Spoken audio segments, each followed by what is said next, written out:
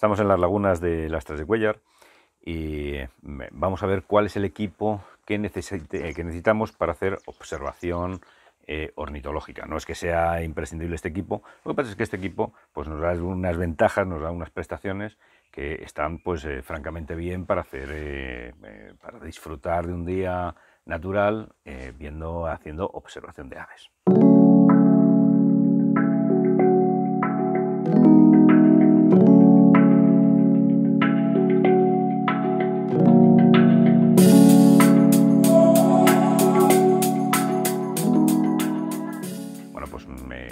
Observación ornitológica, desde luego, es eh, una actividad mm, de lo más placentera, de lo más eh, lúdica, formativa, eh, de lo más entretenida. Hace falta tener un poquito de paciencia, hace falta tener un equipo adecuado. yo os voy a enseñar el equipo que nosotros utilizamos. Primera cosa es que por supuesto que no hace falta un equipo como este. Lo que ocurre es que si ya quieres utilizar las fotografías para, por ejemplo, para un libro, o quieres para publicarlas o para hacer cualquier cosa, cuanto mejor sea el equipo, indudablemente eh, mucho mejor. Cuanto mejor sea la zona y cuanto más rica en eh, riqueza ornitológica, pues eh, mucho mejor. Estamos, como digo, en, Las Tres de Cuellar, que es un pequeño pueblo que hay en, Segovia. Estos son unas lagunas que se han recuperado hace algún tiempo y que mm, el nuevo ecosistema que se ha creado pues ha traído diferentes eh, especies, unas eh, especies muy interesantes para ser observadas que después eh, os mostraremos. Pero ¿cuál es el equipo que, utilizamos? Bueno, empezamos describiendo el telescopio. El telescopio que utilizamos nosotros es un COWA. nos planteamos mm, otros equipos, como los equipos CEIS o como los equipos Leica, pero eh, este equipo tiene una calidad similar, no hemos encontrado ninguna diferencia apreciable en la nitidez de la lente Zeiss o Leica y eh, mm, nos decidimos por las últimas tecnologías que estaban casi más, más que de Zeiss y de Leica, que quizás hayan quedado un poquito, mm, o sea, muy buenas ópticas, desde luego, eh, un poquito más desfasados en otras cosas. nosotros pensamos, o sea, nos inclinamos por eh, Swarovski o Kowa. Eh, finalmente decidimos eh, Kowa porque alguna pequeña ventaja. Por ejemplo, esta doble enfoque que Swarovski tiene solo un eh, anillo de enfoque. El hecho de que sea totalmente estanco, totalmente blindado, pues también nos gustaba. Entonces, finalmente, bueno, pues nos decidimos por este telescopio Kowa que está formado por dos partes. El propio telescopio y el ocular. El ocular que hemos elegido es un 2560 y eh, más o menos mm, el coste aproximado del equipo son, eh, no llega a 3.000 euros, son unos, en total son como 2.800 por. Pero claro, el equipo solo nos sirve para observación, pero la primera cosa que vamos a necesitar es un buen trípode. Necesitamos un trípode estable, un trípode que sea firme, que nos permita mm, eh, obtener unas imágenes eh, estables, eh, no trepidadas.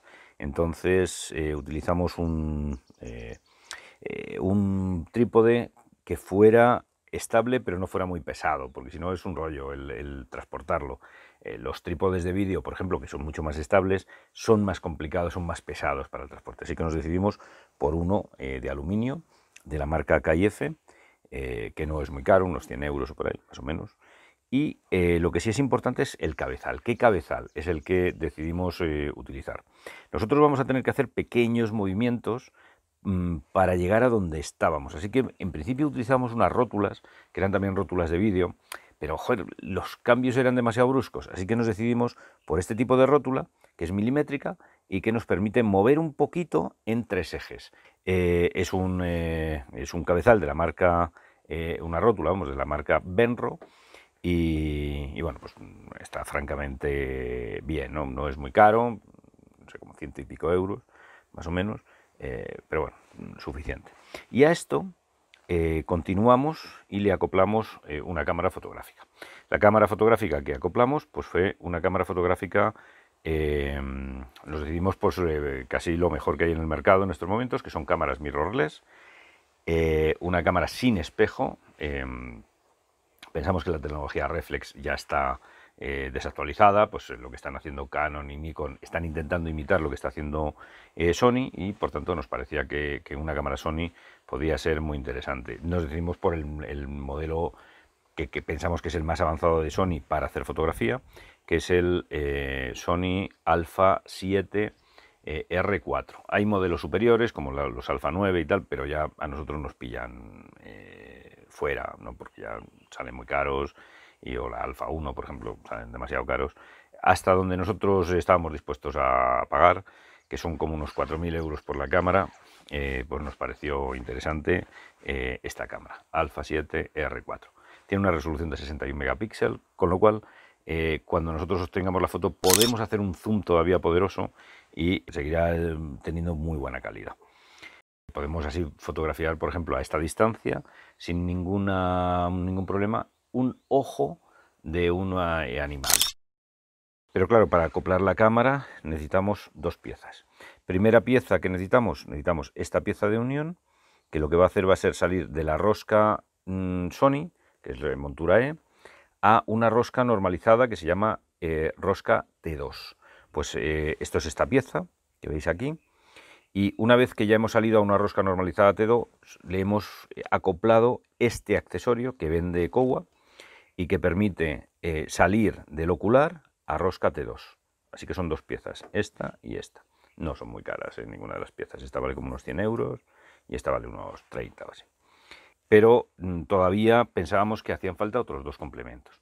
Primer complemento, para no tener que tocar la cámara, un disparador. Entonces eh, utilizamos un disparador remoto, que es este. Entonces, eh, cuando identificamos una fotografía, hacemos foto desde aquí sin tener que tocar la cámara.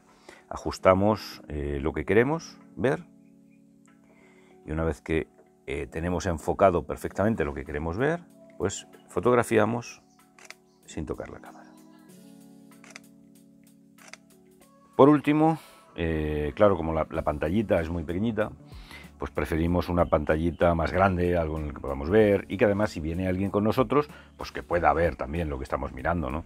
Así que utilizamos una pantallita de, 5 eh, pulgadas y media de la marca Fieldwork, eh, que es un poquito más grande que esta pantallita, que es apenas de 2 pulgadas y media, 3 pulgadas, que es la, que viene incluida en la cámara.